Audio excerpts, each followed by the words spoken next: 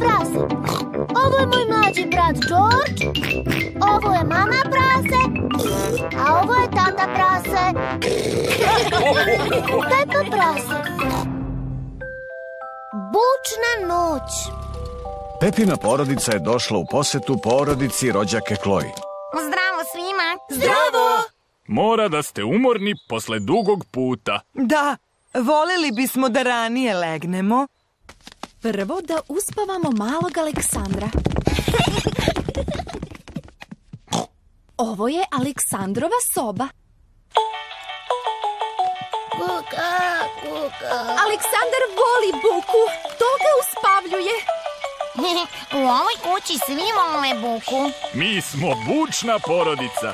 Pepa, George, večera spavate u mojoj sobi. Ura, juhu! Pepa i George se raduju zato što će da prenoće kod rođake Kloji. Laku noć. Laku noć! Laku noć. Laku noć! Laku noć. Laku noć. Svi su najzad ušuškani u postelji. Spavaju. Mali Aleksandar se probudio. Pepa i George su se probudili. Kakva je to buka? To je usisivač.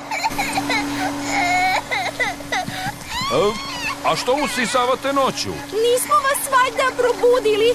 Šta? Ma ne, Otkrili smo da buka najlakše uspavljuje malog Aleksandra. On voli buku. Mi smo veoma bučna porodica. Svi su opet u postelji. Spavaju. Mali Aleksandar se probudio.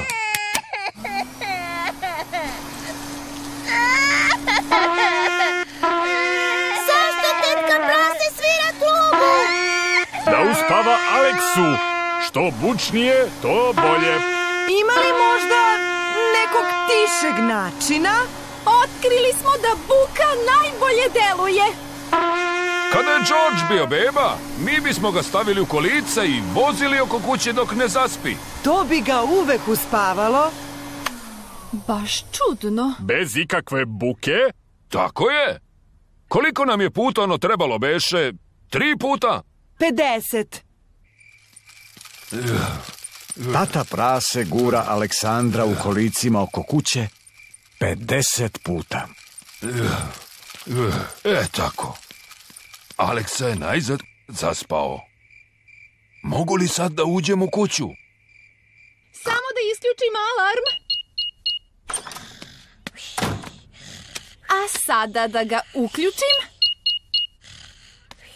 Pepa, zašto ne spavaš? Ne mogu, tata. Ovo je bučna noć.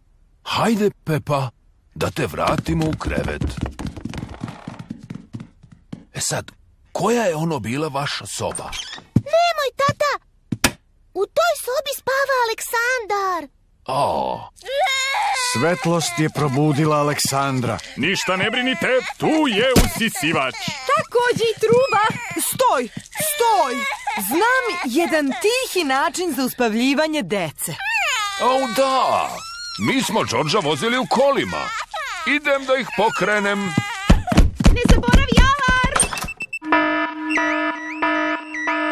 Tata prase aktivirao bučni alarm. Bučna kuća budi sve ostale u kući.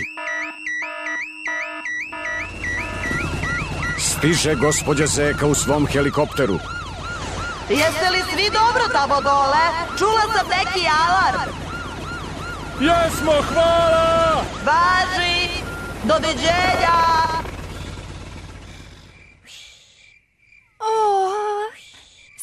velika buka je najzad uspavala Aleksandra. Sada je u dubokom snu. Pa da, zahvaljujući mom bučnom tati. Bravo, tata prase. Moraš češće da dolaziš u posetu.